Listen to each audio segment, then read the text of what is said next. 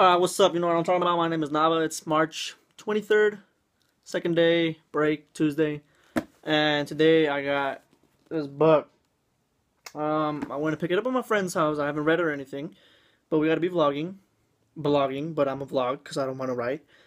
And uh, I'm just gonna give you guys my thoughts on what I think the book is going to be about. So, it's, it's Sensibility, Sense and Sensibility by Jane Austen and uh, we currently read Pride and Prejudice, and that was about basically Pride and Prejudice and love and all this stuff. So I think this book is going to be kind of similar. Uh, Mr. Cortez already told us that it was some something alike.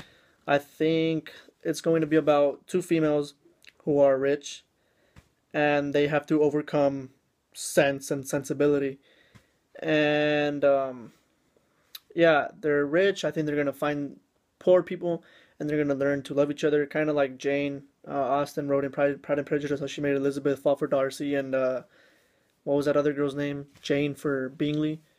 Yeah. Yeah, Bingley. So yeah, I think that's what's gonna happen. Um, I'm probably gonna start reading today, tomorrow.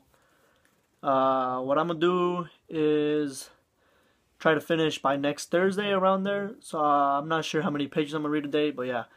So that, that's what I think is going to happen. There's going to be a rich family and a poor family, and then they're going to be trying to get married, and then they're going to fall in love with these poor people, which was, uh, I guess, something out of the usual.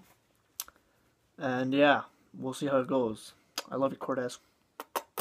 And by the way, I'm not quite sure to look right here or over here. Is I got a new phone, you know what I'm saying? It's, it's kind of confusing. But yeah, peace.